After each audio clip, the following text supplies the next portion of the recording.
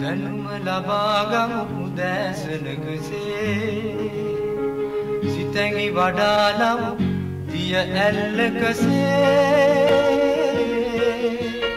සුභාරතී සුභාරතී.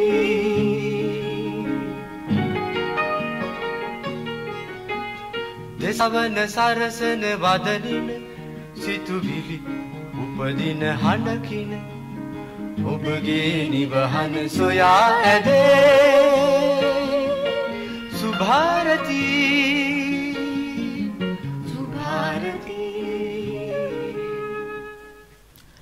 ආයිබෝවන් සුබෝදැස්සනක් සුබ දවසක් හැම දෙනාටම අද මැයි මාසේ හත්වෙනි දස් සෙනසුරාද දවස. දැන් රට තුළ විවිධාකාරයේ ප්‍රශ්න ගැටලුත් තිබෙනවා. මේකට ප්‍රධානතම හේතුව බවට පත්වනි ආර්ථිකය.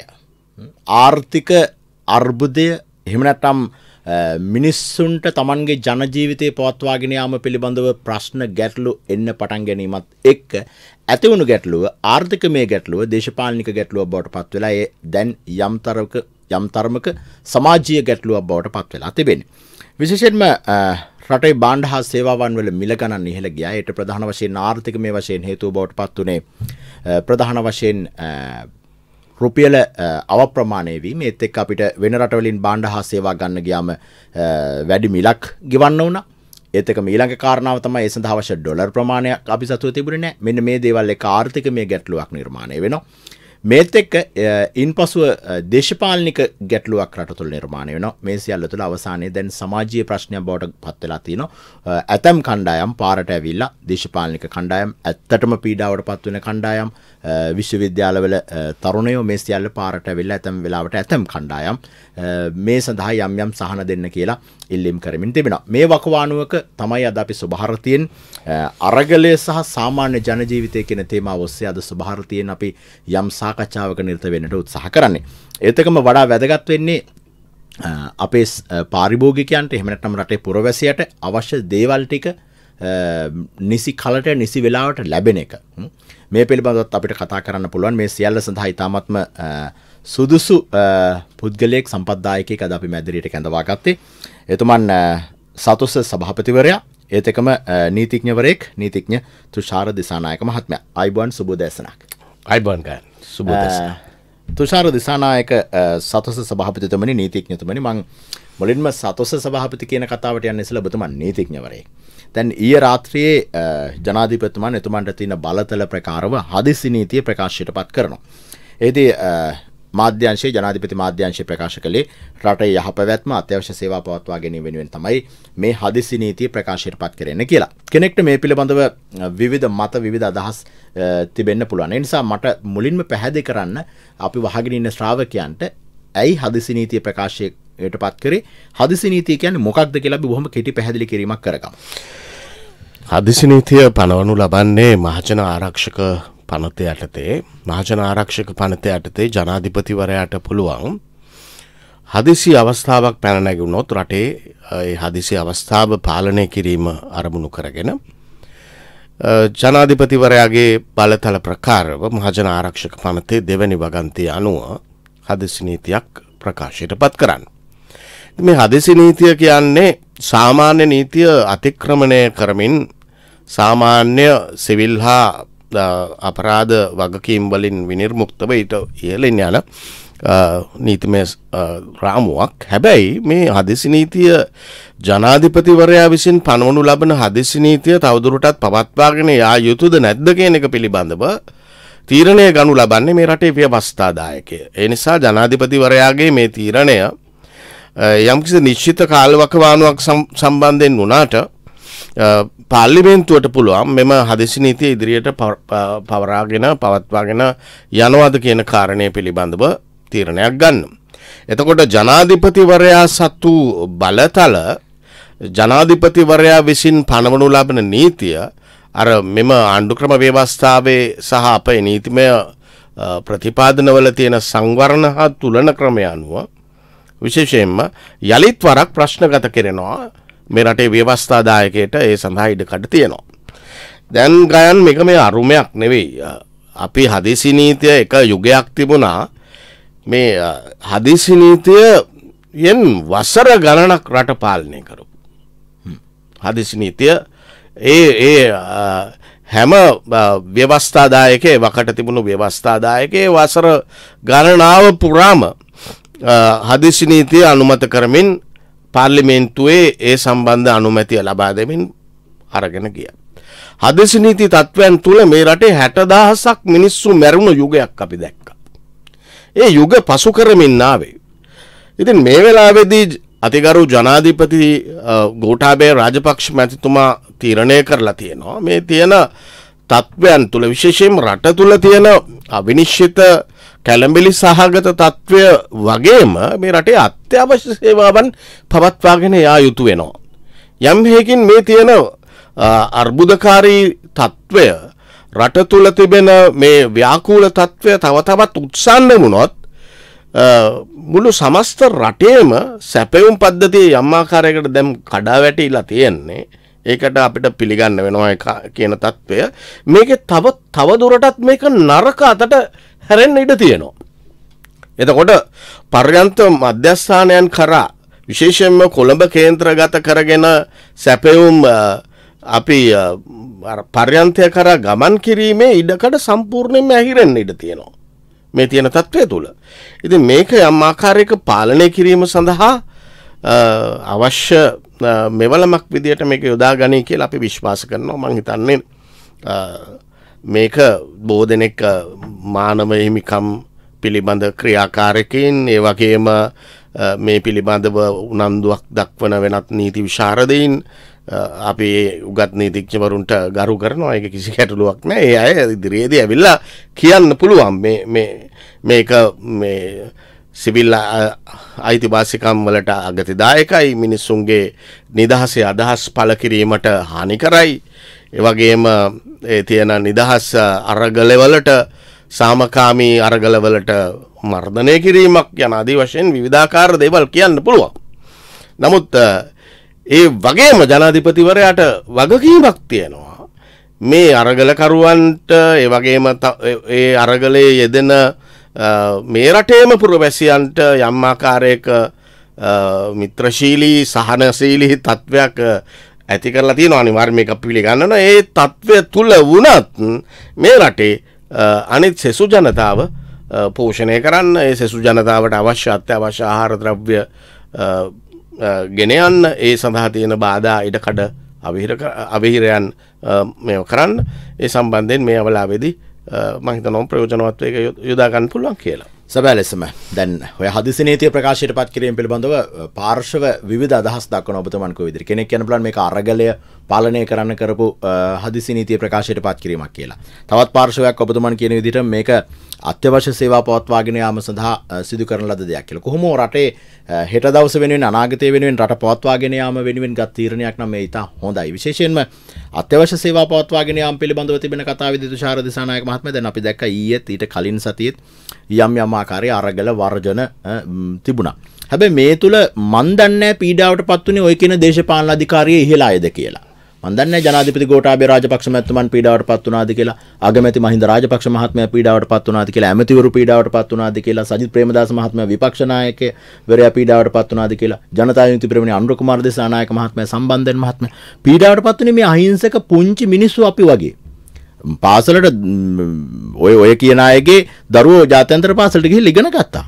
පුංචි මනුස්සයගේ දරුව පාසල් ගිය නෑ පුංචි මනුස්සයට වැඩට යන්න එන්න දුම්රියක් තිබ්බේ නෑ බස් එක තිබ්බේ නෑ හැබැයි ඒගොල්ලෝ තමන්ගේ වාහනවල V8 වල ගියා.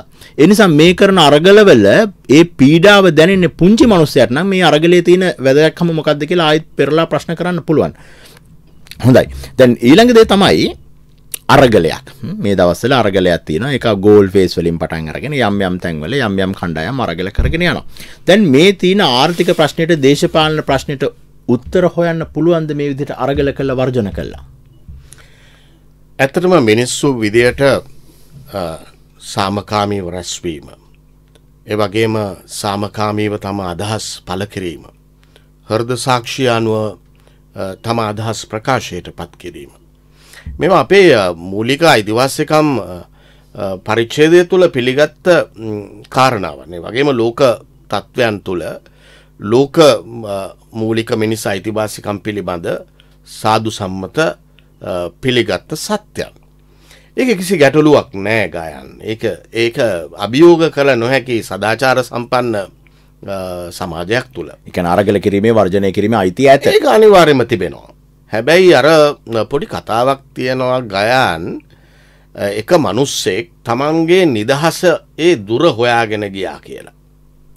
ඔහු හැරමිටියක් කරකවමින් ගමන් කරනවා. හැරමිටියක් කරකවමින් ගමන් කරන ඔහු කියනවා ඔහුට හැරමිටිය කරකැවීමේ නිදහස ඇත කියලා. හැබැයි ඒ දෙස බලා සිටින තවකෙකු කියනවා ඔහු ඔබට ඒ නිදහස තියෙනවා හැරමිටිය කරකවන්න. හැබැයි ඔබ මගේ නහයගාවට එනකං හැරමිටිය කරකවන්න ඔබට බෑ කියලා. නහය වදින්න බෑ නහය වදින්න බෑ. අන්න එතකොට තමයි ඒ නිදහස අවසන් වෙන්න. දැන් මේ අරගලය කියන කාරණය තුළ මේක එක අතකින් මේක ඔය කියන අරගලයක්ද කියලා මට පැහැදිලි ප්‍රශ්නයක් තියෙනවා. මොකද මමත් විවිධාකාර දේශපාලන දැ මෙම තනතුර දක්වා එන්න ඉස්සල්ලා විවිධ දේශපාලන මතවාදයන් වල ඉඳගෙන විවිධ සටන් වල ඉඳගෙන ඒ එහෙම පසුබිමක් තියෙන කෙනෙක්ේ පසුබිම තුළ අපි විපක්ෂ ඉන්න කාලෙ විවිධ අරගල කළ විවිධ සටන් කළා ඒවට මංහිතන්න මේ විදිය මුහුණුවරක් නොතිබුණත් ඒවයි යම් ආකාරයක ජයග්‍රහණ අපි ලබල තියෙනවා. ද මේ විදිය සාධකයන් වල අවසානය කුත් කුමක්ද. මේක තියෙන දැන් හැමෝම කියනවා මේක නිර්පාක්ෂික අරගලයක්. එහෙමනැත්තං මේක කිසිදු පක්ෂ පාට බේදයකින් තොරව පීඩිත ජනතාව පාරට බැස්ස අරගලයක්. අපි ඒ කියන කතාවන් පැත්තකදීම. එදෙන් මේ කියන තත්ත්වය තුළද අද භූමිය තියෙන්නේ. මේක නිර්පාක්ෂික අරගලයක්. නොයසේ නම් ගයන් අපි කල්පනා කරල බලන්න මේ තුළ තියෙන්නේ අර මේ රටේ ආර්ථික අර්බුදයක් ඇවිත් මේ රටේ ඔබ කියන විදියට දේශපාලන අර්බුදයක් දක්වා දිගේලි වෙලා ඉන් පස්සේ ඔබ කියන ආකාරයටම මේක සමාජී අර්බුදයක් දක්වා ව්‍යාප්තවෙමින් පැවතෙන මේ තත්ත්වය තුළ කිසිවෙකු කියනවනම් මේ අරගල භූමිය සහ අරගල තැන තැන හටගන්න අරගල කඳවුරුවල දේශපාලනයක් නෑ කියලා මහිතනවා එක අපිට පිළිගන්න බෑ කියලා. අන්න ඒ නිසාම තමයි ඒ යටි අරමුණු සහ කූට දේශපාලනික උපායශීලී ආගමනයන් නිසා තමයි මේ අරගලයට කිරි කලයට ගොම බින්දුවක් දැම්ම වගේ මේක විනාස වෙල තියෙන්. අද මේ සටන්කරුවන්ට ඔබතුමට සැබෑ සටන්කරුවන්ට මුවාවෙල්ල ගයන් අද විවිධ ආගමික මතනයන් ප්‍රචාරය කරන මිනිස්සු ඉන්නවා. යම් ය මාගම්වලට බෞද්ධාගම ඇතුළු වෙනත් ආගම්වලට ගරහමින් හෙලාදකිමින් පාච්චල් කරමින් ඒ තුළ හැසිරෙන ජනතාව ඉන්නවා. ඒවගේම මේ තියෙන බුරදියේ මාළුබාන දේශපාලන ප්‍රවාහයන් තමන්ගේ කෙටි ක්‍රමයකින් බලය ලබා ගැනීමේ දේශපාලන න්‍යාය පත්‍රයක ඉන්නවා. ඒවගේම මේ තුළ විවිධාකාරයේ සමහර වෙලාවට ඇතැම්විට තමන්ගේ ඇතැම්මිට කලාකරුවන්නයි අපි කවුරුත් ආදරය කරනය තමන්ගේ ට්‍රෙන්ඩිං එක හදාගන්න හදන උත්සාහයක් තියෙන්න ඉඩ තියෙනවා. මේ විදිය නානා ප්‍රකාර වූ කතන්දර අස්සේ මේ අය පෞගිය වකවානුව තුළ මාධ්‍යයට කැඳෙව්වා මේ අය එන්ඩ කියලා මන්දන ඔබේ මාධ්‍ය ඉදිරියට ඔවුන්නාවද කියලා. මාධ්‍යයට ආවහම ඔවුන්ගේ නහන ඔබේ නායකත්වය කුමක්ද. ඔබේ වැඩ පිළිබෙල්ල කුමක්ද. ඔබේ විකල්පය කුමක්ද. ඔබ ඉදිරියේ තබන දර්ශනය කුමක්ද මේකට උත්තරයක් ඒකන ගයන් මව් සේතුන් කියලා තියෙන්නේ අරගලයට දර්ශනයක් නැත්තං. එය අරගලය අන්දයි. අරගලයට වැඩපිළිවෙලක් නැත්තං ඒ අරගලය වඳයි. ඉති මට කියන්න තියෙන්නේ මවසේ තුන්ගේ කියමන අදට ගැලපෙනවා. නමුත් නීතික තුෂාර දිසානායක මහත්ම දැන් මිනිස්සුන්ට සැබෑ ප්‍රශ්න එකක් තිබෙනවා ගෑස් ටික ගන්න ගියාම ගෑස් ටික නැහැ. මේ මේට ආර්ථික ප්‍රශ්නත් ගැට ගැහිල තියෙනවා. ගෑස් වල මිල වැඩි වෙලා තිනවා ඉන්දනවල මිල වැඩි වෙලා තිනවා ගන්න ගියාම පෝලිංවල ඉන්න ඕන කිලෝමීටර් ගනා හාල් ටික තමන්ගේ අත්‍යවශ්‍ය බඩුවල මිල ඉහල ගිහිල්ලා තියෙනවා.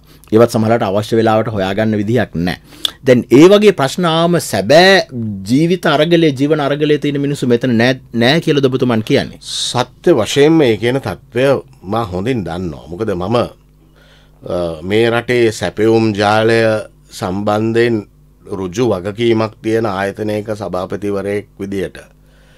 ගෑන් මම පත්වල තම දවස් දෙකයි සභාපති දවර විදිට නමුත්ම නියෝජ සභාපතිවරයා විදියට කටයුතු කර. මට ඒ සම්බන්ධ කියවීමක් තියෙනවා නැත්තං ඒම කියවීමක් නැත්තං අපි අර මේ අඳුරේ අතපත ගන්නවුන් බවට පත්වෙනවා විශේෂයෙන්ම සමාජීය සත්වයෙක් විදියට. සමාජයේ ජීවත් වෙන මිනිස්සුන් පිළිබඳව ලාදුරු රෝගියෙක් නොවන මම. සමාජීය ප්‍රශ්නවලද අපි ලාදුරු රෝගීන් වගේ සමාරය කටයුතු කර මං අනිවාරෙන් පිළිගන්නයි කියන කාරණය ඔබ කියනවටත් වඩා. ඉතාම පර්යන්තේ ඇත්තරම විශාල ප්‍රශ්නයක් තියෙන සැපවුම් පද්ධතිය දැන් මේ වෙනකොට කඩා වැටලා තියෙන්නේ හම්මාකාරයකට ඒකට බලපාන වාස්තවික කරුණු ගණනාවක් තියෙනවා. ඒකට හැම කාරණාවක්ම අවියෝජනීයව එකින් එක බැඳිලා තියෙනවා. අර දිලිඳු භවයේ විසම චක්‍රය අපි ආර්ථික විද්‍යාව හදාරනකොට අපි ඉගෙන ගත්තා වගේ මේ ආර්ථිකය සහ මේ සැපෙවුම් පද්ධතිය කඩා වැටීම සම්බන්ධයෙන් එකිනෙක බැඳිනු කාරණ කීපයක් තියෙනවා. ඉතින් ඒ නිසා මේක හුද කලාව මේකට වග යුත්තා ජනාධිපතිතුමා අගමැතිතුමා කැබිනට් මණ්ඩලය දෙසිය විසි පහ යනාදී වශයෙන් මේක ලගු කරන්න බෑ. මේකට වග කියන්න ඕන මේ පාලන කාලේ. එහෙම නැත්තම් කලින් පාලන කාලේ. නැත්තං සමහරය විවෘත්තාර්ථිකය. මේ අනාදි වශයෙන් විවිධ දේවල් සම්බන්ධයෙන් ප්‍රශ්න ගත වෙනවා. නමුත් මේ කියන ප්‍රශ්නය ඇත්තටම තියෙනවා. අපි ඒක දැම් ප්‍රශ්නයක් තියෙනවානේ ගෑන්. ඔබ දන්නවා මා දන්නවා. දැන් මේ රටේ දේශපාලනය කරන අය කරන්න ඕන මොකක්ද. මේ රටේ දේශපාලඥයෝ දැ ඔබ වාර්තාකරුවෙක් මාධ්‍යකරුවෙක් මාධ්‍ය මොකක්ද කරන්න මේ තියෙන දේ වාර්තා කරනවා. අරගල කරුවපටවාද කියන්න. අපිට අමාරුයි කණ්ඩ නෑ. එහෙම නැත්තං අපිට අමාරුයි ගෑස් නෑ. අපිට අමාරුයි තෙල් නෑ. බට තෙල් පෝලිං වල ඉන්න වෙනවා. ගෑස් පෝලිං වල ඉන්න වෙනවා කියන එක ඒ අය සන්නිවේදනය කරනවා. ඕනු යම්සි මාධ්‍ය මාධ්‍යයක් ජන ජන මනස ක්‍රියා කරන විදිය ඔවුන් පෙන්නනවා.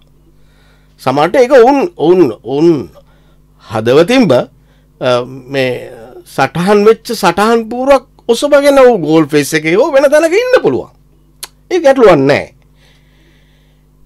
ඒක වාර්තා කරනේ හැබැයි දේශපාලක්ඥෙක්ට එහෙම වාර්තාකරුවෙක් වෙන්න බෑ. මේ කියන කාරණය ආණ්ඩුවට ආණ්ඩුවට සන්නිවේදනයක් වෙලා තියෙන අඩු දන්නවා මේක. රට කරනය දන්නවා. ආයතන ප්‍රධානින් මේක දන්නවා.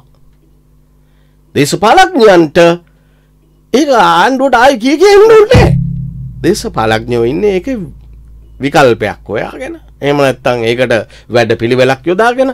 ඒ සටන් පාටවලින් සටන් පාටවලට උත්තර දෙන්න ඒ ආණ්ඩු පක්ෂයට රුජෝ තියෙනවා ඔබ කියනවාද විපක්ෂ ඉන්න අයට රුජුව එහෙම අදහසක් නෑ කියලා ඒ අයටත් තියෙනවා ඒ නිසා සටන් පාට මාකට් කරලා මේ ප්‍රශ්නවලට විසඳුම්සුවන්ට බෑ.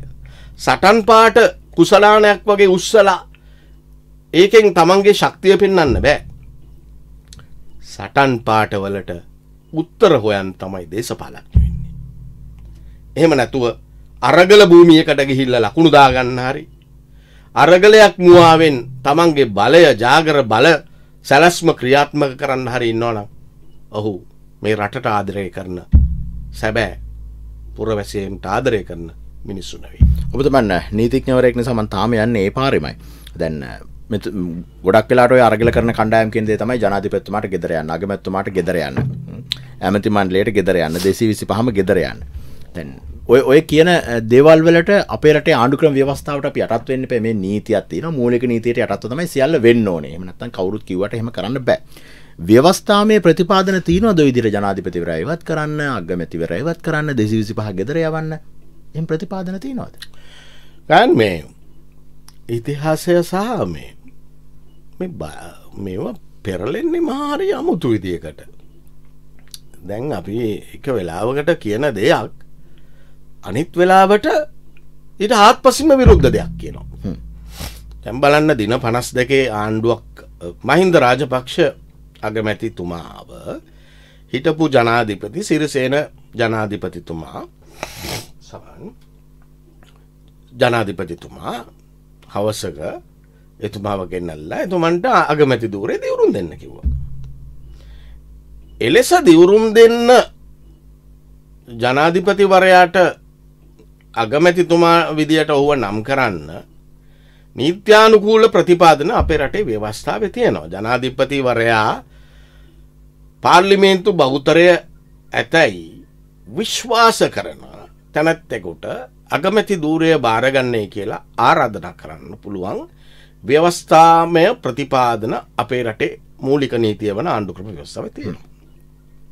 එහෙම ආරාධනා කරාට පස්සේ එතුමන් ප්‍රමුඛ කැබිනට් මණ්ඩලය ඇති කරලා ඒ වෙලාවෙදී දිවරුම් දිලා අලුත් කැබිනට් මණ්ඩලයක්කාව. ඒ අවස්ථාවේදි මොකදුන. බලය අහිමි වුණු පාර්ශවයන් එවකට හිටිය හිටපු අගමැති රනිල් වික්‍රමසිංහ මැත්තුමා ඇතුළු පාර්ශවයන් මේ වගේම මීට මිට සමාන නෑ නමුත් යම්මාකාරයක උද්ඝෝෂණයක් කල්ලා ඒ උද්ඝෝෂණ මාලාව මහිතන්නේ අර්ලි ගහ මන්දිරය ඒ අන දක්වා ගිල්ල මේ කිව්වේ මේ නීති විශාරදීන්. ඔය කියන මුණු අරම් බැලුවොත් එහෙම දෙකොල්ලොම එක වගේ.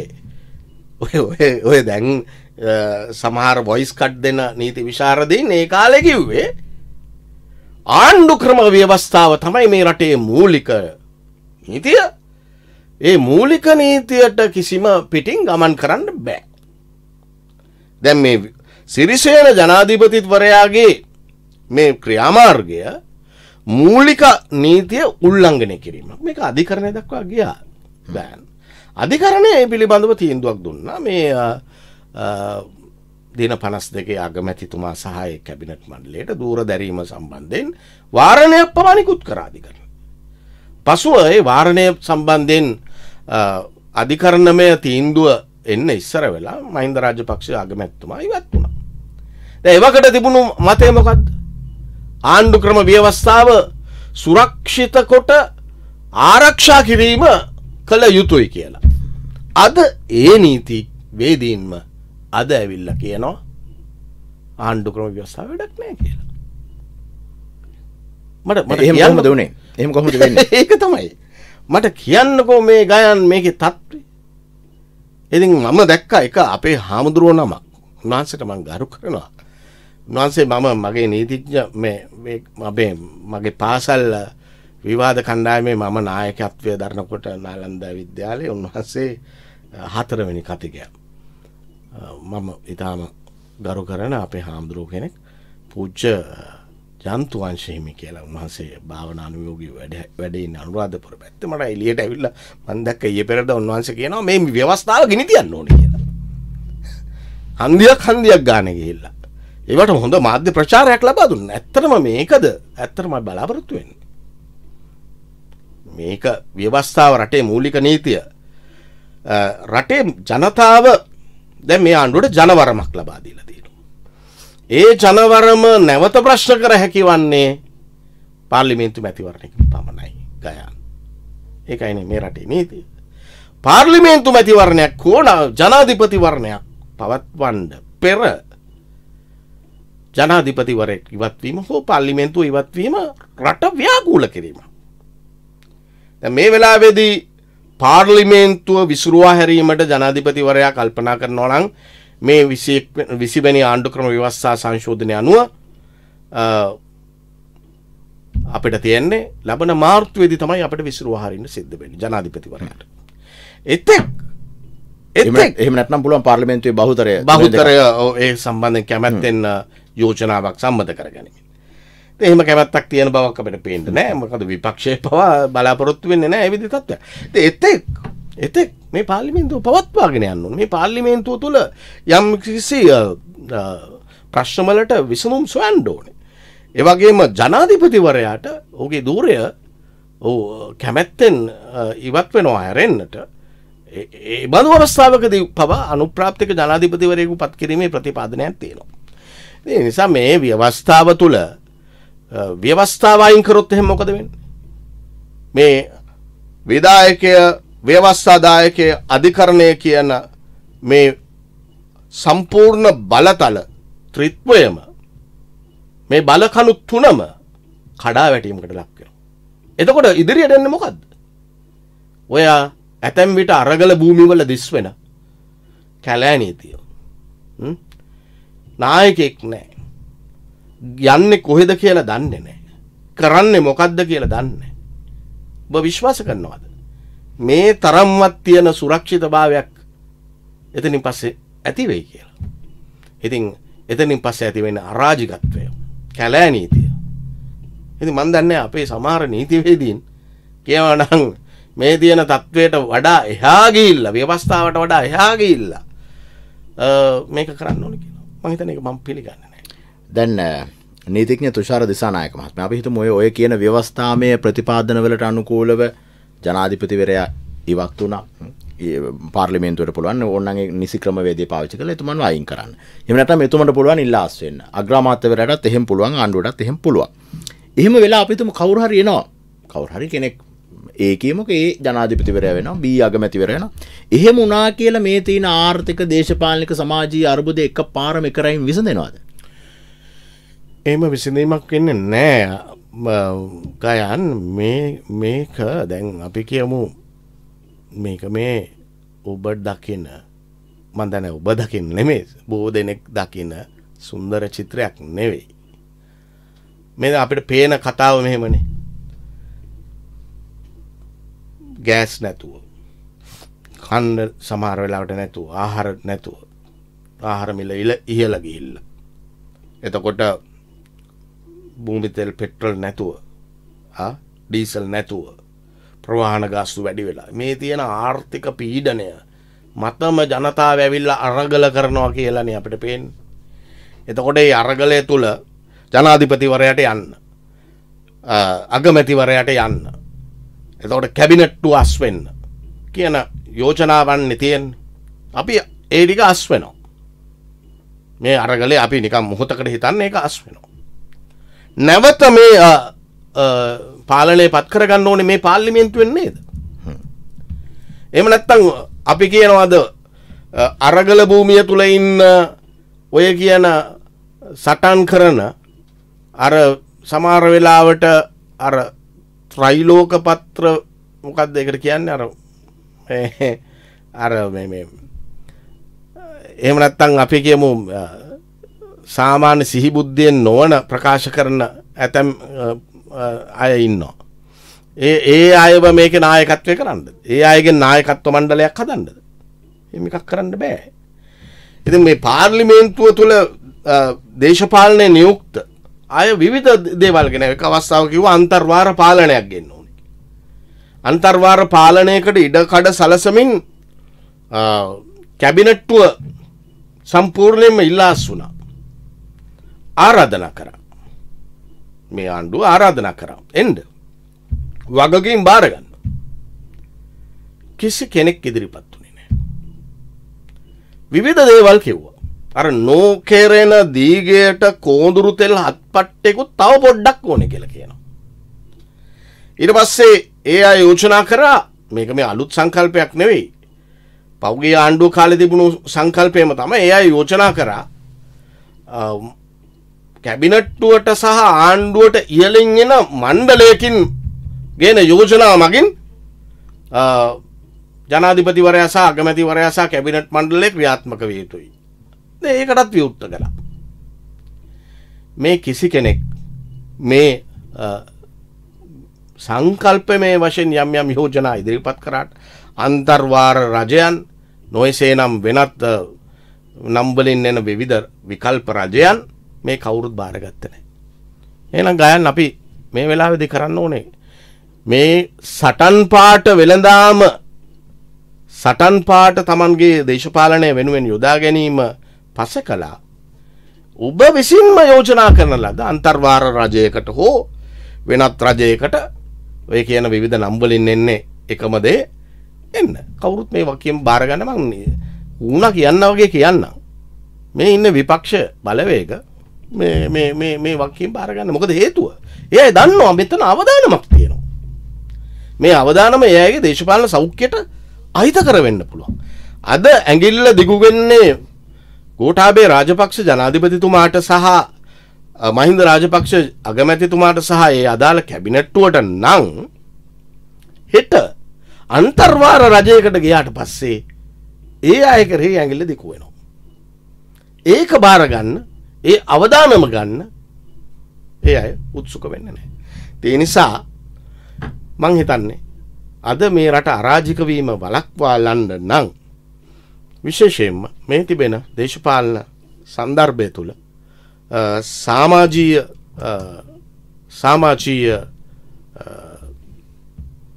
තලය තිල තියෙන ව්‍යාකුලත්වය දුරලීම සම්බන්ධයෙන් වූ ඉවසුම් සහගත ක්‍රියාමාර්ගයකට අපට යන්නවෙයි. හොඳ අපි මේ දේශපාලනික වශයෙන් වර්තමානය තිබෙන තත්වයන් එහි තිබෙන නීතිමය ප්‍රතිපාදන මේ සියල්ල පිළිබඳව සුභාරතය තුළ කතා කරමින් හිටියේ. අපි මෙතනින් එහාට මේ සාමාන්‍ය ජනජීවිතය පවත්වාගෙන යාම අත්‍යවශ්‍ය ආහාර ද්‍රව්‍ය කොහොමද සපයාගන්නේ? ඒ පිළිබඳව තියෙන ප්‍රශ්න ගැටලු මොකද සතොස් සභාපතිවරයා ඉන්නේ. එතුමන් කතා කරනවා. දැන් වෙලාව දැසන 7යි විනාඩි 34යි.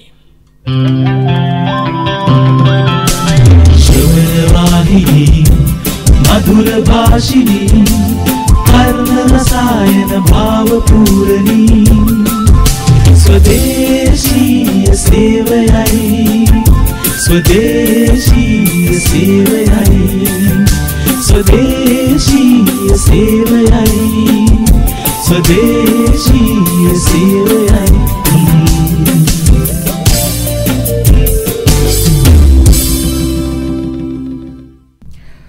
අද ස්වභාරතයෙන් අපි කතා කරන්නේ අරගලය හා සාමාන්‍ය ජනජීවිතය පිළිබඳව මේ අරගලය අතරේ ජීවත්වීම අරගලය අපිට තියෙනවා. කියන අපිට දෛනිකව ජීවත් වෙන්න ඕන හාල් ටික පරිප්පු ටික පිටි ටික සීනි ටික අපිට ඕනේ.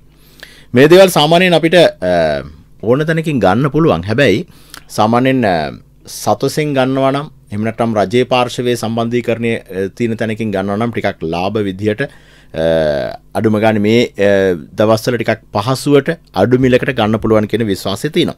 හැබැයි තියෙන ප්‍රශ්නේ තමයි මේ වගේ තැන්වලට ගියාම බඩු නෑ. ඔක තමයි සමහර අය කියන කතාව.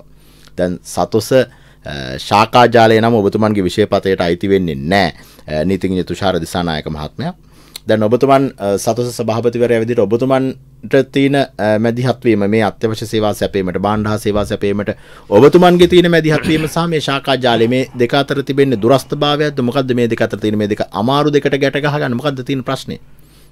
ගයන් මේ විශේෂයෙන්ම සතුස කියන ආයතනය ලංකාවේ පළවෙනි රාජ්‍ය සමාගම සංස්ථාව රාජ්‍ය සංස්ථාවක් විදියට මේක ආරම්භ කරනකොට ඔය කියන සිල්ලර වෙළඳාම එකැන ප්‍රාදේශීව තියන වෙළඳ චාලයත් ඒවගේම ගබඩා ප්‍රවාහනය විවිධ අංශ මේ සියල්ලම එකම තැන තිබුණ. පසුව දෙදස් හතර වර්ෂයේදී එවාකට තිබුණු රජය රවි කණනායක එවකට හිටපු වෙළඳ අමාත්‍යවරයා මේ සතුස රීටෙල් කියල වෙනම සමාගමක් හැදුව.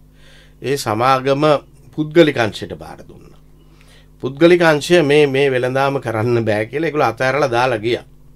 අවසානදී සතුසට සතොස එක තැනක. සතොස අර සතුස රීටේල් කියන ආයතනය තව තැනක. ඒව පාලනෙන් ගිලීලගේල්ල ඒ සිල්ලර වෙළඳ ජාලය නැතුවල පසුව තමයි ඔය ලක් සතුස කියලා ඒ සිල්ලර වෙළඳ ජාලය ආරම්භ කරේ ජයරාජ් ප්‍රනාන්දු පුල්ලේ හිටපු වෙළඳ මැත්තුමා. ඊට පස්සේ බඳුරු ගුණවාදන ඇමත්තුමා ඒ ශාකාවන් විසිපාක විතර තිබ්බ එක දෙසේ පණහ දක්වා වැඩි කළ අද හාරසී පනා දක්වා එක ලංකා සතුස්ස බවට පත්වෙලා තියෙනවා. ඉතින් මේකෙදී තොග ගබඩාවන් ඒවගේම අපනායන ආනයන කිරීමේ නීතිමේ රාමුව ඒ වගේම ප්‍රවාහනංශය ඇසුරුම් වංශය මේ සියල්ලම තියෙන අප සතුව සතුස සතුව සමූපකාර තොග වෙළන් සංස්ථාව සතුව. නමුත් ඒ කිසිම සම්පතක් නොමැතිව. ඒ සියල්ලම බාහිර ආයතන වලින් මුදල් දීලා අරගන්න ඕන එම නැත්තා ඒ වෙනුවෙන් බෑ බරක් දරන ලංකා සතුස ආයතනයට රටපුරා හාරසය පණහක් වෙළඳ ජාල පවත්වාගෙන යන්න ඕන. ඉතින් බලන්ඩකෝ මේ තියෙන අසාධාරණය. එතකොට ඒ වෙනුවෙන් වැෑ බරක් දරණ එක සම්බන්ධයෙන් ඒ ලංකා සතුස ආයතනය වැෑ බරක් දරන්නේ මේ රටේ ජනදාවක සල්ලි. මේ ආයතන දෙකම සමෝධානයෙන් එකට එක්ව වැඩ කටයුතු කරනවාන. මංහිතනවා ඒක දැ මෙහෙම ආයතන දෙකක් වුණාම ලංකා සතුස ආයතනය වෙත අප ලබා දෙන ප්‍රවාහණය වූ ගබඩා පාසුකම් සම්බන්ධයෙන් අපට සිද්ධ වෙනවා ඔවුන්ගෙන් යම්කිසි අයකිරීමක් කරන්න. නැත්තම් ඔබේ ආයතනට යපෙන්න්න බෑ ඔවු. එතකොට ඒක එක ආයතනයක් වුණානම් මේ ඒ සන්දර්භය මතු වෙන්න දෙකම රාජ්‍ය ආයතන නිසා එක- දෙකම එකිනෙකට- රාජ්‍යායතන නම් ඕ නමුත් වෙන වෙනමනේ අධ්‍යක්ෂ මණ්ඩල සහ වෙන වෙනම ක්‍රියාත්මක වෙන. ඉතින් මේ කියන කාරණාවන් අපි දැනට අඳුනාගැනමින් තිබෙනවා. විශේෂයෙන්ම බන්දුල ගුණවාදන ඇමත්තුමා මේක ප්‍රවේශයක් ගත්ත මෑතබාගේ අපි අ, බොහොම අ, ළඟින් අ, සහෝදර ආයතන විදියට එකම අමාත්‍යංශික ක්‍රියාත්මක වෙන අ, සේවා සැපයුම් ආයතන විදියට අපි එකට එකතු වෙලා මේ වැඩ පිළිවෙල තියෙන හානිය අවම කරගනිමින් ජනතාවට උපරිමය ලබාදීමේ වැඩ කටයුතුලේ දිලයින්නවා. දැන් ඔබ ඔබේ ප්‍රශ්නයට අවොත්තේම දැන් මේ අරගලය ජීවන අරගලයක් බවට පත්වල තියෙනවා. දැන් ගයන් අපි අපේ ලංකා සත්ස අල විජාලයත් අපිත් ගත්තොත් මුළු ලංකාවම අපි ක්‍රියාත්මක කරන්න සියට දහයක විතර වපසරිය. එමනම් වෙළඳ අමාත්‍යංශයට සහ රජයට සිද්ධ වෙනවා. සෙසු සියට අනුවක සැපවුම් පද්ධතිය යථාවත් කරණය කරන්න. තැන් මේකට හේතුව විදියට අපි දකින්නේ අ, මේ සමාජ කැලඹීම අපිට කොච්චර බලපානවාද කියලා ම්, අ, ගයන් ඔබ විශ්වාස කරන්න. දැන් අ, පසුගිය නොවැම්බර් මාසේ ඉඳං දෙදස් විසි එකේ නොවැම්බර් මාසේ ඉඳං මාර්තු මාසය දක්වා එක දිගට මේ රටේ මේ විවිධ අඳුරු කළු ගලාවන් මැද රිදී රේඛාවක් වගේ. මේ රටේ අපනයන ආදායම ඇමරිකානු ඩොලර් බිලියන එකයි දසම පහ දෙකක සාමාන්‍යකටාව අපනයන. ඒක මේ කොවිඩ් අර්බුදය සම්බන්ධයෙන් රට වහලා ඒ අර්බුදය නිමා වූ සැනින්ම සහ ඒ අර්බුදය පවතින කාලවකවානුව තුළ වනත් මේ අපනයන ආදායම ඉහළ තලයකට අපිට එන්න පුළුවන් වීම මේ රටේ ආර්ථික විද්‍යාඥයන් පුරෝකතනය කළා. අපිට ඉදිරියට ගමනක් යන්න පුළුවන් වේ කියලා. මේ ආර්ථිකය යම් ආකාරයක සංකෝෂණය වෙච්ච ආර්ථිකය යම් ආකාරයක අලුගසා දමමින් නැකිටිනවා කියන විශ්වාසය ඔවුන් තැබුව. අප නාදායම් අපට වැඩීම එන ආදායම් වැඩිවීම. එවගේම සංචාරක ව්‍යාපාරය ක්‍රමිකව සාපේක්ෂව මේ බ- අර පාස්කු ප්‍රහාර එල්ලවෙන්ඩ පෙරතිබුණු තත්ත්වයට ක්‍රමිකව වර්ධනය වෙමින් පැවතුන. විශේෂෙන්ම ඒ සංඛ්‍යාලේකන දත්තා අනුව අ, මාසිකව අනූදහසක් එක්ලක්ෂ විසිදහසකට ආසන්න ප්‍රමාණයක් දක්වා එක වර්ධනය වුණ. ඒ වර්ධනවීමේ තත්ත්වය යම්මාකාරයක රටේ ආර්ථිකයට බලපාමින් තිබුණ. මේට සාපේක්ෂව අඩුවමින් තිබුණේ ලංකාවට ලැබෙන විදේශ ගත ශ්‍රමිකයන්ගේ ප්‍රේෂණ මුදල් පමණයි යම්මාකාරයක අඩුවමින් තැ- පැවතුනේ. මේ තියෙන තත්ත්වය තුළන මේ අරගල සහ මේ කියන සමාජ ව්‍යාකූඩත්වය ආවේ. අද බලන්ඩ ගයන් මේ තත්ත්වය කොතරම් දුරට අ, ප්‍රශ්නගත වෙලා තියෙනවද කියලා. මම එක ගැන මේ තුළ තියෙන දේශපාලනය ඉතාම නිර්ලජ්ජිතයි කියලා. පෞගිය ඊනියා මන්දන්න එක හර්තාලය කියල. මම අහල තියෙන හර්තාල් ඔයිට වඩා වෙනස්. එකන්නේ එදදා ශ්‍රම්සය පනස් තුනේ ඩඩ්ලි සේනානායක මහත්තයා අගමැතිවරයා විදියට එතුමාගේ කැබිනට් මණ්ඩලය ඔය හර්තාලයට මූුණ දෙන්න නැවක් ඇතුළේ ඉඳන් තමයි රැස්සුන කියලා කියන්නේ. හරි? ඒ ඒ කාලෙ කරපු සටන් ගැන තියෙන්නේ මේ වගේ අ, තත්ත්වයක් නෙවෙයි. ඒවයි තිබුණත් දේශපාලනය. ඒ දේශපාලනය තමයි ඒ හර්තාල් නායකයන් ඉදිරියට ගත්තේ. ඒ ඒ දේශපාලනය මේ විදිය බල අරගලයක් පිළිබඳව නෙමේ රට පිළිබඳව තියෙන ලොකු පණවිඩයක් දුන්නේ. අඩුම ගාන මේ අරගලකරුවන් සහ ඒ අය ඒ දේශපාලන ඉතිහාසය ගැන කියවීමක් කළ යුතුව තිබෙනවා. මම කියමින් ආවේ ඒ හර්තාල් ව්‍යාපාරයයි නම් කරපු ව්‍යාපාරය තුළ ඇතැම් විට ඇතැම් දේශපාලන පක්ෂ අර කෝවිඩ් සමයත් වහලා තිබ්බ නැති මේ රටේ අපනයන ගම්මානවලට නිදස් වෙළඳ කලාපවලට බලෙන් ඇතුල් වෙලා ඒ අයව එලියටද ගත්තා. අර අහිංසක වතුකම්කරු ජනතාවට ගිහිල්ල කිව්ව දළු කඩන්ඩ එපා කියලා. ඔවුන් පාරට ගත්තා. අ, එක වෘතිය සමිති නායකෙක් ඔවුන් ස්වාධීන වෘතිය සමිතියක් අ, නියෝජනය කරන්න වෙළඳ කලාපේ මා දැක්ක පුවත්පත් නිවේදනයක් සහ නි- නිකුත් කරමින් ඉන්න ඔවුන් මේ අපනයනකරුවන්ගේ පැත්තේ දං අරගලයට සහභාගි වෙන්න නෑ හේතුව උන්ටත් ප්‍රශ්න තියෙනවා අරගල තියෙනවා ගැටලු තියෙනවා. නමුත් මේ තියෙන ආයෝජන අවස්ථාවන් ටිකවත් අඩුම ගානේ අපින් ඒ- මේ අනවුම් ටික ගියොත්තේම වියට්නාමට එම නැත්තම් බංලදේශයට එම නැත්තං ඉන්දුනීශයාවට වෙනත් ශ්‍රමය සපයන වෙනත් ආයතනවලට ගියොත් අපිට මේ තියෙන තත්වෙත් නැතිවෙනවා ඒ නිසා මේ මේ අරගල එම නැත්තම් මේ සටන් ඉලක්ක වෙන්න ඕනේ ආණ්ඩුවටන.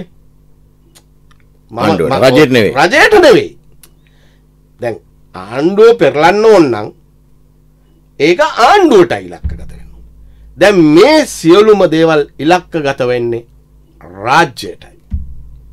මව්බිමට ආදරය කරන මිනිස්සු තමන්ගේ ලක්කම්මට පහර දෙනවා කියලා කියන්නේ ඉතාම භායනක තත්ත්වයක්. නිසා ඕනම කෙනෙක් ආණ්ඩු කරන්ඩ නං රාජ්‍ය බලය ගණ්ඩ නං රාජ්‍යයක් ඉතුරු වෙන්ඩ ඕනි. එනිසා මේක දිශානතිය වෙනස් වැරදිී කියන කාරණය ඒකයි. ඒ නිසා අපි කල්පනා කරන්න ඕනේ. මේ රටේ ජනජීවිතය යම් ආකාරයක හෝ අස්වැසිල්ලක් වෙන මේ රටේ තේ- තේ කර්මාන්තය අ, පහුගිය කොවිඩ් සමය පවා යම් ආකාරයක ඉදිරියට ගිය. අර පෞගේ කාලේ තිබුණු විවිධ හැලහැප්පීම් මැද වුණත් අ, ඒ ඒ ඒ ආර්ථික තත්ත්වයන් එහෙම ඉදිරියට ගිය. මේ මේ කියන තත්ත්වය අපි හිතුවේ නැත්තං රට මීට වඩා අනතුරුදායක තත්ත්වයකට පත්වෙනවා. මොකද ලැබෙන සීමිත අ, අවස්ථාවන් අපට ඩොලර් හිඟයක් තියෙනවන ඒ ඩොලර් ලබා ගැනීම සම්බන්ධයෙන් තියෙන සීමිත ඉඩකඩ අහුරනවනම් ඒක ඉතා පානක දැ ඔබ විශ්වාස කරන්න පෞගිය ඔය ම්, පාරවල් වසාදමීමේ ව්‍යාපෘතිය යටතේ කටුනායක අධිවේගී මාර්ගයේ පිවිසුම වහල දැම්ම. ඔබ දුටුවා ජනමාධ්‍යවේදී අපි ඔක්කොම දුටුවා. සංචාරකයන් පයින් ගමන් කරනවා. හරි? මේ අය සං- සංචාරක ඒද නැද ඔව්. කියන ප්‍රශ්නාර්ථය තියෙනවා. දැන් ඒ නිසා මේ සැපයුම සැපයුම් පද්ධතිය යථාවත් කරන්න අපිට දැවන්ත කාර්යභාරයක් කරන්න වෙනවා. ම- මට මට පුංචි අවස්ථාව දෙන මේ නීතිඥ තුෂාර දිසානායක මහත්මය ඔබතුමන් සතුස සභහපතිවරය දැන් ලංකා සතුස ඔබතුමන්ට අයිති නෑ. අ, සතුස තමයි ඔබතුමන්ට අයිති. සතුස කියන විෂය පතයට ඔබතුමන් කියන ආකාරයට අ, බාණ්ඩ බෙදා හැරීම ආනේ අපනන ක්‍රියාවලි ඔබතුමන්ලා යට තමයි තියන්නේ. එහෙම අ, බාණ්ඩ හා සේවා බෙදාහැරල බාණ්ඩ බෙදාහැරලා ලංකා සතුසට දාන හැබයි ලංකා සතුසට ගියාට පස්සේ තියෙන ප්‍රශ්නය තමයි අඩු මිලට ගන්න පුළන් දැන් එලිය සාමාන්‍යෙන් සුපමාකට එහෙක සාමාන්‍ය කඩේක හාලිකිලුවක් රුපිය දෙසිය විසට විතර විකරනකොට රජයේ මැදිහත්වීම මත අ, රුපියල් එකසිය හතලෙකට එකසිය පහකට සතුසෙන් ගන්න පුළුව එනිසා මනුස්සෙක් යනවා රුපියල් හැටක් හැත්තෑවක් හාලිකුලුවක හිතර කරගන්නවා ගැන මේ කාලයට හරි වටිනවා. හැබැ එම ගට දිග පෝලිං සමහලට බඩු නෑ. එනිසා බැරිද ඔබතුමන්ලා සතුස බෙදාහැරීම ගෙන්වීම ඔබතුමල්ලට තියෙන නිසා බැරිද මේ සඳහා මැදිහත්වීමක් කළ මේ අහිංසක මිනිසුන්ට පෝලිමේ ඉන්න නැතුව ඔය හාල්ටික සීනිටික පරිපිටික් ගන්න විදිට හදල දෙන්න. දැන් ඒ ඒ නිරූපණය වෙන්නේ රටේ අ, තියෙන තත්ත්වයනේ දැන් අවංකෝම අ, සතුසේ පෝලිං ඇති වෙන්නෙත් සතුසට බාන් දාන බාණ්ඩ අ, ඉක්මනට අලවි වෙලා බාණ්ඩ නැත්තෙත් මේ සැපවුම් පද්ධතිය තුළ තියෙන ලොකු අරබුදයක්. ඉතින් එහෙම කියලා අපි ඒ අර්බුදයට විසඳුම් සොයන් නැතුව සිටින එක අපි යුතු නෑනේ. අපි අනිවාර්යයෙන්ම මේ සම්බන්ධයෙන් ක්‍රියාමාර්ග ගනිමින් තිබෙනවා. වත්මන් අ, වෙළඳ අමාත්‍ය ගරු ශෙහන් සේමසිංහ මැතිතුමා අප සමග මේ ඉදිරි අ, පසුගිය දිනවල පැවති සාකච්ඡාවලට අනුව අලි- නැවත බාණ්ඩ ආනයනය කිරීම සහ බාණ්ඩ අපනයන කිරීම සම්බන්ධයෙන් අ, මෙතෙක් අකර්මණ්‍ය වෙලා තිබුණු සතුස අ, සතුස සතු ඒ අංශය යළි පණගන්වමින් අප ආයතනය හරහා බාණ්ඩ රටට ආනයන කිරීම සම්බන්ධයෙන් කටයුතු සූදානම් කරමින් ඉන්නවා. ඉතින් දැනට ඔබතුමල් නෙවේ ගෙන්වන්නේ නෑ, ඒ- ඒ- දැනට- ඒ කියන්නේ නමට අකුරටිකට විතරයි තින් අ, දැනට දැනට අපි දැනට මහිතන අවසාන වතාවට ඒ සම්බන්ධයෙන් කටයුතු කරලා තින්නේ හිටපු අමාත්‍ය රිෂාඩ් බදුතින් මැත්තුමගේ කාලේ. එතනින් පස්සේ අ, ආනයන අපනයන ක්‍රියාවලිය අප ආයතනය හරා සිදුවනේ නෑ. ඒක ආනයන කිරීම් සිදුවනා රාජ්‍ය විධ නීතිගත සංස්ථාව කියන තවත් රාජ්‍ය ආයතනයක් තියෙනවා ඒ ආයතනය හරා දැනටත් අ, ඉන්දයානු ණය ආධාර ක්‍රමය යටතේ ඒ අදාළ අ, සහල් සහ වෙනත් ආහාර ද්‍රව්‍ය ගෙන්න්නන්නේ ඔවුන් නමුත් ඊට අමතරව අ, ඒ වගකීම අ, සතු සාහිතනයට ලබාදීමට ව්‍යවස්ථාපිතවම අපිට තියෙන වගකීම ලබාදීමට කටයුතු කරම ඉන්නවා. ඒකම අපි මෑතකදී ඉතාම බොහොම ස්වාදව මේ ආයතන දෙක ඒකාබද්ධව සහ මේ ආයතන වෙළඳ අමාත්‍යංශයට තියෙන සියලුම ආයතන ඒකාබද්ධව ඒ ආන්ත්‍රණය අපි ගොඩනගලා තියෙනවා. මං හිතනවා වෙනදට වඩා ම්, මේ තියෙන තත්ත්වයට සාර්ථකව මූුණ දෙන්න අපි අ, ශක්තිමත් වෙලා ඉන්නවා කියලා. හොඳයි දැන් අ, මෙතනින් ඉස්සරහට යද්දී දැන් අ, වඩා වැදගත නැද ඔබතුමන් කිව කලින්කිව විදිට සියට දහයක් විතරයි අ, ලංකා සතුසත් එක සතුසත් එක එකට ගැට ගැහලති හැබැ මේක තවටික පුළුල් කරගන්න යම්කිසි ක්‍රමවේදයක් නැද්ද? ඒත් එක මොය කියන විදිහට බාණ්ඩ හා බාණ්ඩ බෙදාහැරීම ක්‍රියාන්විතේද යම්මාකාරක දැන් සමහල ලංකා සතුසර ගයාම පාරිභෝකයෝ කියන කතාතම බඩු නෑකිවා ඒගොලගෙන් ඇහුව මේ ගොල කියන්නේ අද ලොරියක්කාව ආයි ලොරියක් කන ලබන සතියකුව කියලා. දැන් එතෝට මේ ක්‍රියාදාමය ටිකක් දුරයි. අපි එහෙමනටන්ගේ අත්‍යවශ්‍ය බාණ්ඩ හාසේවාටික එක දිගට අ, සප්- සැපීමේ යම්කිසි ක්‍රමවේදකට යන්න බැරි දේශඳ පහසුකම් නැද්ද ඔබතුමාලට නැත්තම් බඩු නැත් නෑ පහසුකම් තිබෙනවා. පහසුකම් කියන්න දැන් අපිට ලොරි රත ඇනි ඇනේ අපේ ලොරි සීයකට ආසන්න ප්‍රමාණයක් තියෙනවා. ඒක ප්‍රමාණවත් නෑ තව ලොරි පන්සියක් විතර අපට අවශ්‍ය වෙනවා ප්‍රවාහණය කරන්න. ඒ ඔක්කොම් පුද්ගලිකංචින් ලබාගෙන ඒ අදාළ ගබඩා පහසුකම් සහ ඒ සියල්ල අපිට තියෙනවා. ඒවක් කරගෙන අපි ඉදිරියට වැඩ කටයුතු කරනවා. දැන් ගායන ඔය- ම්, බඩු නෑ කියන කතාව ලංකා සතුස විතරක් නෙවෙයි. වෙනත් ආයතන ගත්තත් එහෙම තමයි රටේ. දැන් වෙනත්ද පුද්ගලික ව්‍යවසායකයෙන් විසින් පවත්වාගෙන යනු ලබන සුපිරියයි සම්මත වෙළඳ සැල් තියෙනවා. ඒ ඔලත් යම්මාකාරක හිඟයක් තියෙනවා. ඉතින් අපේ මේක වඩා දැනෙන්නේ පාරිභෝගිකයට මේ ලංකා සත්ව අලවිජාලයට මේක ඇතුල් වුණාම ඒ සාමාන්‍ය පාරිභෝගිකයට අවශ්‍ය කරන දේ ගණ්ඩ බැරිවීම. නමුත් ඒ ඒ සම්බන්ධ රාක්ක පුරුවන්න එපයි. දැන් අපි දැන් ඒකට හේතුව දැන් ඔම- ඔබතුමාල මැදිහත්වීම රජ්‍යය මේ පාර්ශ මැදිහත්වීම යම් තරමකට සහන මිලකට බාණ්ඩටික දෙනවන්නේ දැන් අර පුද්ගලික තැනකට බඩු තිබත් වරන්න ඒගොල්ල අසීමිත ලාභයක් ලබාගෙන වැඩිමිලට දෙනවා. එතකොට පුංචි මිනිහෙක් ඒ මනුසගේ පඩි වැඩි වෙලා නෑ බාණ්ඩවල මිල විතරයි වැඩි වෙලා තින් එයා කැමති අඩු තින තැනට ගිහිල්ල දෙයක් අරගෙන තමගේ ජීවිත ඉස්සරහට අරගෙන ඔය ඒ- ඒ- ඒක මම පිළිගන්නවා. මෙතනද සිද්ධ වෙන්නේ මේ පර්යන්ත අලවිසැල් ජාලය දක්වා ගමන් කරාම මේ මේ- මේ තියෙන අත්‍යවශ්‍ය ආහාරද්‍රව්‍ය එතන ගොඩ නැගිලා තියෙනවා මාෆියාවක්. ඒ මාෆියාව තමන්ගේ සහෝදර ජනතාවට දැන් අපි කියමු අ, අපි කියනවා යම්කිසි සීමාවන් දානවා. සීනි කිලෝ එකයි දෙන්නේ. පරිප්පු කිලෝ එකයි දෙන්නේ. හාල් කිලෝ උපහයි දෙන්නේ. මංකිව මේක දැන්තියන තත්ව නෙවෙයි. සාමාන්‍ය ඒ විදිය නිර්ණායකයන් උපමානයන් අපි දානවා.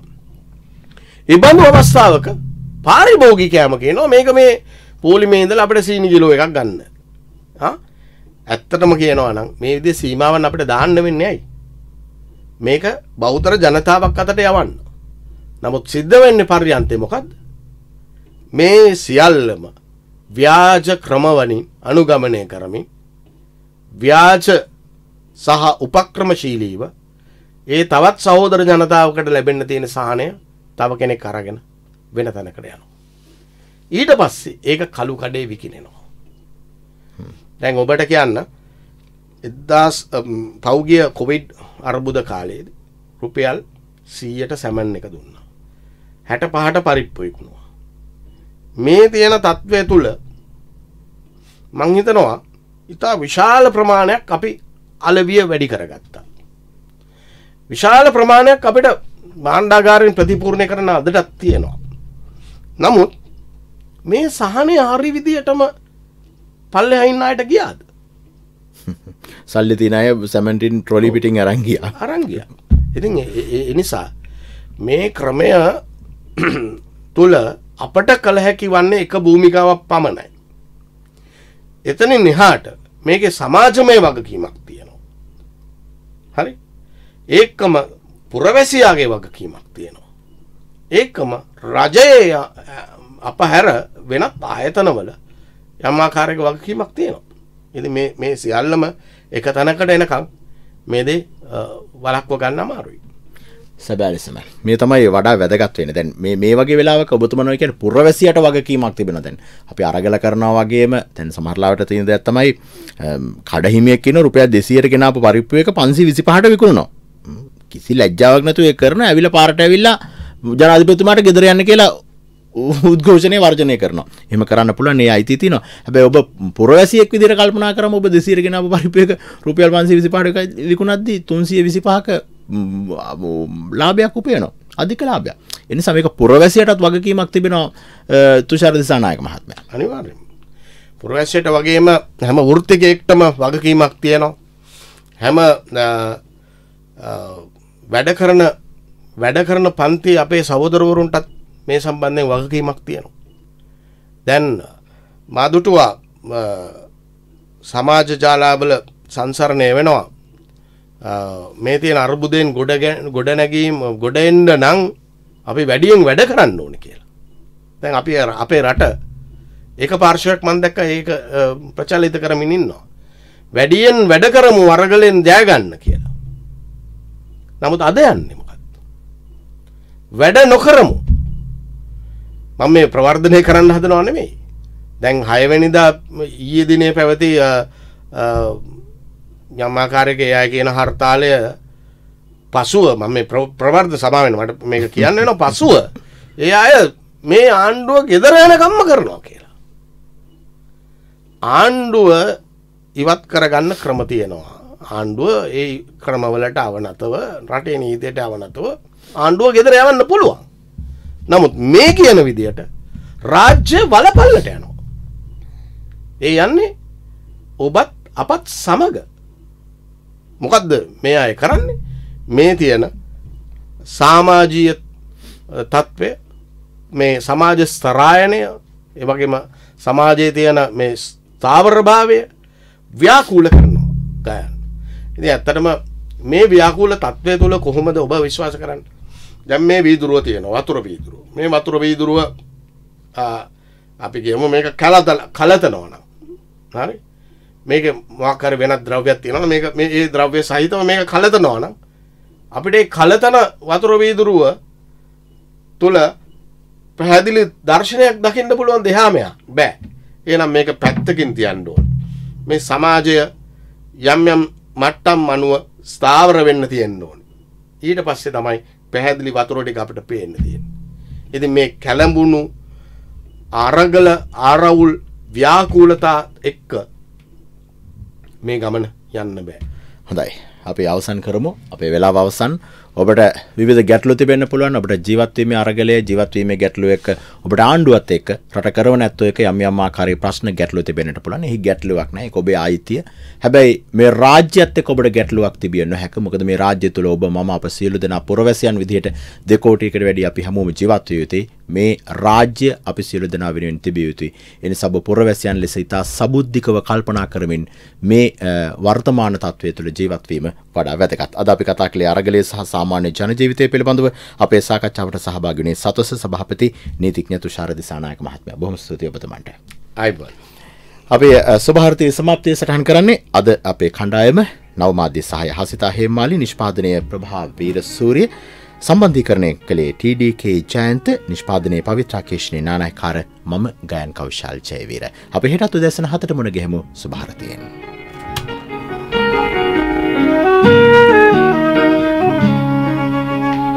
දැනුම ලබාගමු උදෑසනකසේ සිතැඟි වඩාලමු දිය ඇල්ලකසේ. සුභාරතී සුභාරතී.